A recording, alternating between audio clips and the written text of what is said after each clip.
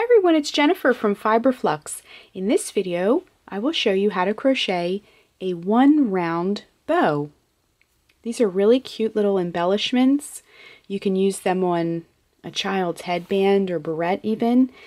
And for this project, you'll need, um, I'm going to use some worsted weight yarn. You can use any yarn you want. If you're unsure about the hook, just um, check the yarn label for the hook recommendation. And we're also going to be using an H 5 millimeter crochet hook. And to finish your bow, you'll need a pair of scissors and a tapestry needle for weaving the ends. So to begin, we're going to put a slip knot on our hook. To make a slip knot, just wrap the yarn around your fingers and make a loop. Bring the yarn around the back like that, so it looks like a circle with a line now reach in with your crochet hook and pull up that line and it's a loop and just tighten. So to begin, we're going to chain four. To make a chain, wrap yarn around hook and bring it through the loop. That's one, two, three, and four. Then we're going to be joining in this last chain here from our hook with a slip stitch. So insert the hook into the chain bring up a loop, and then bring that loop through the loop that's already on your hook, just like that. Okay, so we have our ring, and I like to kind of open it up a little bit so we can see what we're doing. And from here on out, all the stitches will be worked into the center of this ring. So to begin, we're going to make a single crochet. To make a single crochet, insert the hook into the ring and bring up a loop yarn around hook, bring it through both loops.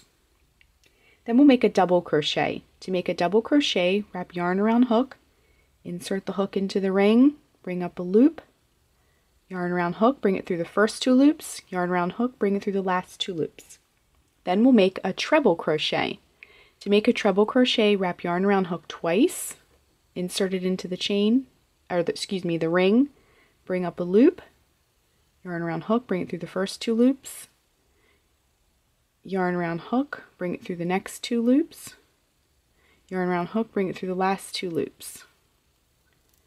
Okay, next we're going to make another double crochet.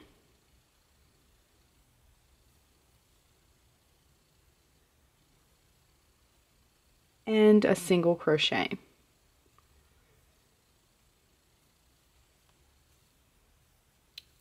Next we're going to make a slip stitch Make a slip stitch by bringing up a loop and then bringing the loop through the other loop, just like that. Then we'll work a single crochet. My yarn is a little bit splitty today. And then a double crochet.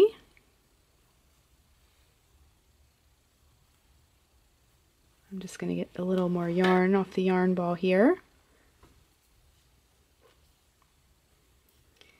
and a treble crochet.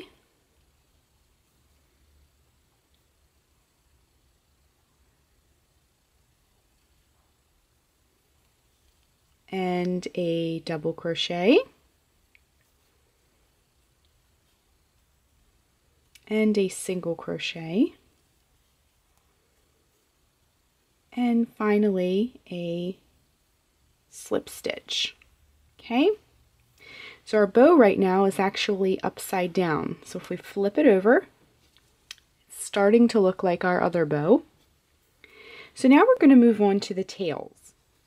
To make the tails of the bow, we're going to chain six.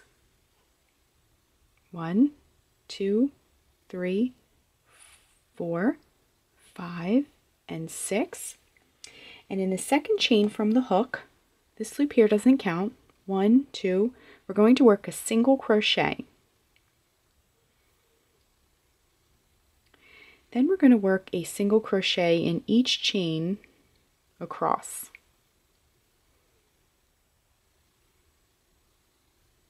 That's three, four, five. That one's kind of tucked in there. Then we're going to work a slip stitch into the center here.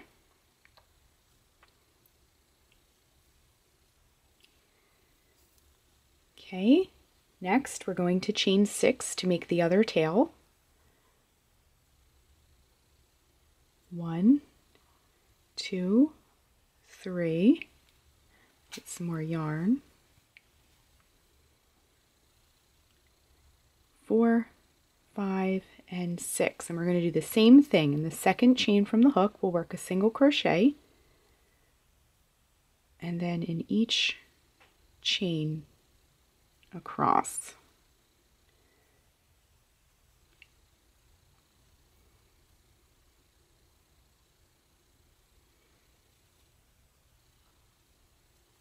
That last chain is kind of snugged up to the bottom here, so you have to kind of look for it. Okay, then to finish our bow, we're going to work a slip stitch to complete it. We have our two tails like that. Then we're going to join with a slip stitch to close it and to finish it off. Okay, and then you'll take your scissors and fasten it off just like that. So we need to shape it up a little bit. These one round pieces are tiny, so you have to shape them up. So to flip it over, flip it over and then take your tail. And I meant to mention this before, but as you work around, you're going to hold the tail in such a way so you can crochet it into the piece so you don't have to weave it in later. So what you're going to do is pull this really, really tight to close that hole and just trim it. And then the other tail that's remaining, you can take a tapestry needle. Sometimes it gets a little frayed. You can just give it a fresh cut if that happens. And just thread your tapestry needle and flip it over to the back. And you can just run your tapestry needle around the back here to weave that end in. And I like to come back and just do another pass just to make sure everything is nice and secure. And just trim that off.